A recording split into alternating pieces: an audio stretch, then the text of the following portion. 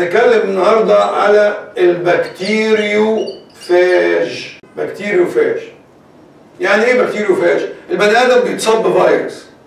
حصبة measles virus mumps virus polio virus hepatitis virus. البني آدم بي إيه؟ بيصاب بالفيروس. البكتيريا ممكن تصاب بالفيروس يبقى الفيروس بتاع البكتيريا اسمه bacteriophage. ده فيروس متخصص في كل البكتيريا. كل فيروس له نوع من البكتيريا. يعني الفيروس بتاع الدفتيريا ما يصيبش إلا ال diphtheria bacilli الفيروس بتاع ال staphylococcus ما يصيبش إلا ال staphylococcus organism. تمام؟ طيب ال هنتكلم على ال general general principles of virus بصوا بقى بسرعة كده. أي فيروس في الدنيا مكون من جزئين جزء داخلي وجزء خارجي. الجزء الداخلي اسمه ال core أو الجينوم وده مصنوع من RNA or بص or دي تحتيها كام خط؟ DNA. لكن الاثنين مع بعض لا. مفيش فيروس فيه RNA و DNA. إذا الفيروس is not a living cell خالص لأن في RNA بس في DNA بس. ال DNA هيدي اوامره لمين؟ وال RNA هيشتغل بأوامر من مين؟ لو يبقى اذا ده ال core. وده ال infective part هو ده اللي بيسبب كل المشاكل بتاع الفيروس.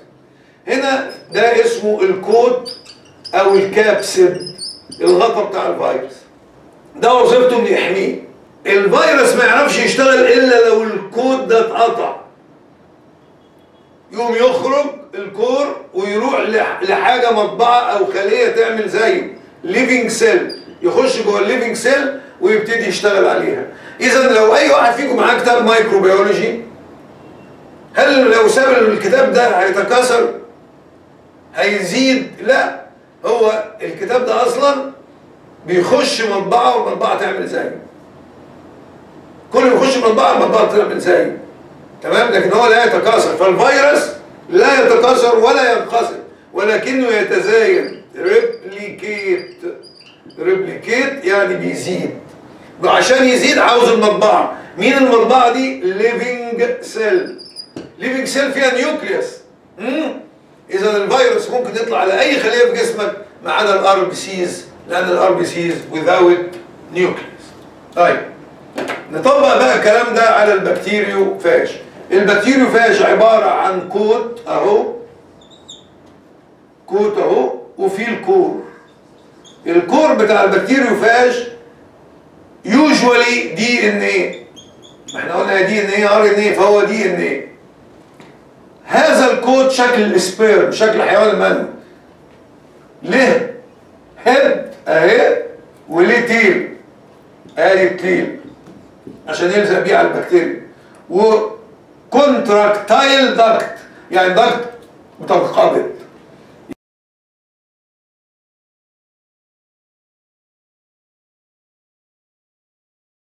اول ما يلاقي البكتيريا بتاعته يروح لازق عليه طبعا البكتيريا لها one chromosome تمام اللي هو اسمه nucleoid اهو وده عليه ال genes بتاعت البكتيريا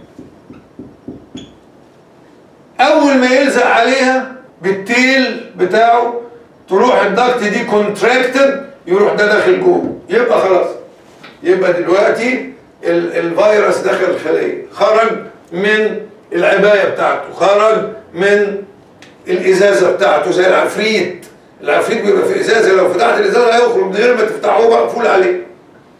أول ما يدخل يعمل حاجات غريبة جدا بقى. إيه هي؟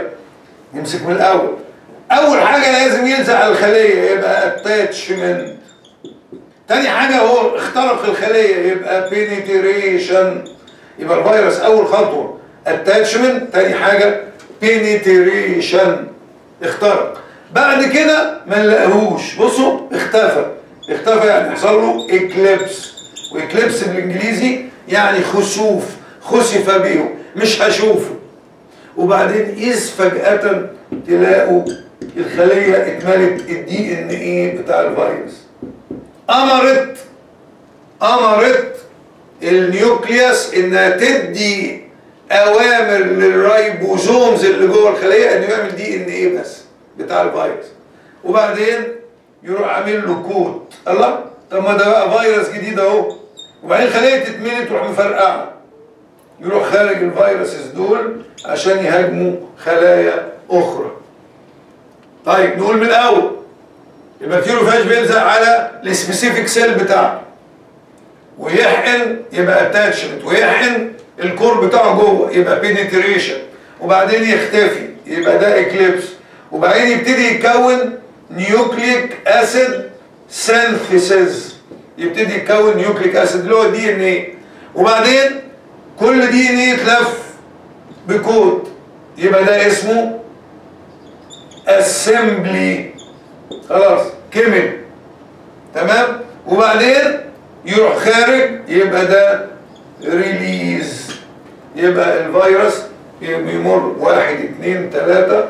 nucleic acid أربعة. assembly خمسة. release ستة. وهذه الخلية انتهت.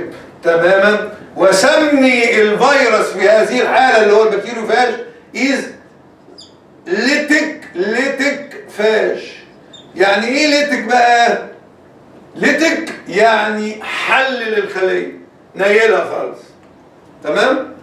يبقى اذا الفيروس لما بيخش بي takes over the control بيسيطر على ال nucleus يخليها تؤمر بعمل DNA زيه وكل DNA يتلف assembly ويبقى جاهز زي ما أجيب آه، قطع غيار من بره وبعدين أروح مركب لها. body بقت عربيه وبعدين تخرج العربيه إحنا خدنا ال lytic cycle of bacteriophage ده اسمه lytic phage يعني ال phage دخل على الخلية وكسرها.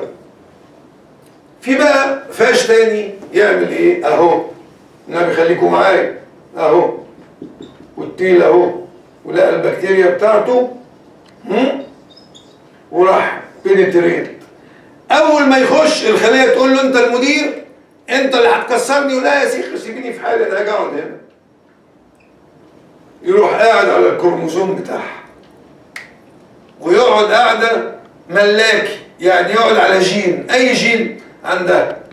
يروح قاعد عليه وآخر آخر جمال. الخلية دي عاوزة تنقسم تنقسم بالباينري فيش. وهو معاه. أهو أهو. وتنقسم وتنقسم وتقعد كده. لكن ساعات يعمل زي فؤاد المهندس. يعمل إيه؟ يقول أنا المدير. يعني إيه أنا المدير. يروح طالع تاني بره. بس طالع هو والكرسي اللي قاعد عليه. هو والجين اللي قاعد عليه. فاهمين؟ هو كان قاعد على جين. خرج قال لك أنا المدير. وهكسرك بقى. يبتدي إيه؟ الخلية تعمل زيه بالظبط. أهو. الجين اللي خده ما هو ده اللي هتعمل زيه. ده الكتاب والإيه؟ وهو قاعد لها هنا اهو على الجين. الخلية تفرقع من جنابها ويخرج الفيروس الجديد ال bacteriophage الجديد اللي هو فيه إيه؟ ال DNA اللي عملته الخلية. وهو قاعد معاه. قصدي ده ال DNA بتاعه اهو وده الجين الأحمر ده الجين بتاع الخلية. وده ال DNA بتاع الفيروس الأصلي. يبقى الخلية دي عمرها ما هتتكسر لكن ممكن تتكسر في وقت معين اذا هي مهددة. دي بنسميها lysogenic cycle. يبقى في lytic فيش phage أو lytic cycle وفي وفي lysogenic cycle. إيه الفرق؟ ال lytic cycle يخش يكسر الخلية ويأمرها تعمل زيه.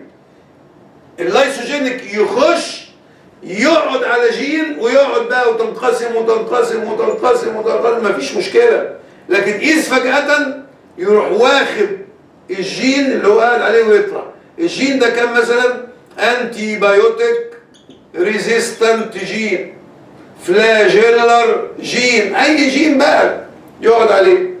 يجي يصيب خلية تانية. خلي بالكوا بقى قوي من هنا. ها اهو دخل اهو. لما يخش انت انت المدير لا. ده أنا جاي اقعد معاك. هيروح جايب الجين اللي اخده من دي ويقعد معاه اهو. يبقى هو قاعد هنا بس جاب جين تاني. إذا الخلية دي اكتسبت صفة الجين اللي موجود في دي. ليه؟ لأنه قاعد على الجين ده وخده وطلع بره بيه. أهو طلع بره بيه. يبقى ده ال phage وده الجين بتاع البكتيريا. لما دخل بكتيريا تانية حاطينها جين تاني يبقى زادت جين. أنا أقول لكم آه، آه، مثل بسيط جدا. أنا عندي في بيتنا أوضة السفرة فيها خمس كراسي. أنا رحت اتغديت عند حد منكم. فقاعد على الكرسي بتاع سفرته هو بقى؟ واتغديت وأنا قايم الكرسي لزق فيا. رحت بيتنا فراح الكرسي داخل عندنا في البيت يبقى السفرة بتاعتنا بقى فيها كام كرسي؟ ستة. ما هي خمسة وأنا لزقت في كرسي من عند آه، فلان اللي مغديني عنده ورحت حطيته على السفرة بتاعتي. أهو ال phage كده. بيروح يقعد على الكرسي على جين من بكتيريا وبعدين يطلع بيه كسرها ويطلع بيه ويروح إيه داخل على بكتيريا تانية حاطط لها الجين ده على الكروموزوم. يبقى البكتيريا دي بدل ما كان عندها خمسة جين بقى عندها ستة جين. الجين ده ممكن يكون إيه؟ drug resistant ممكن يعمل آه، capsule gene يقول البكتيريا. ما كانتش كبسول تبقى تبتدي تعمل capsule. flagella ما دام ما كانش ليها flagella تعمل flagella وهكذا. يبقى ده اسمه lysogenic cycle يبقى لازم تبقوا عارفين حاجتين. lytic cycle و lysogenic cycle طول ما ال phage قاعد ما بيكسرش الخلية بنسميه بروفاش اللي هو على الكروموزوم. تمام؟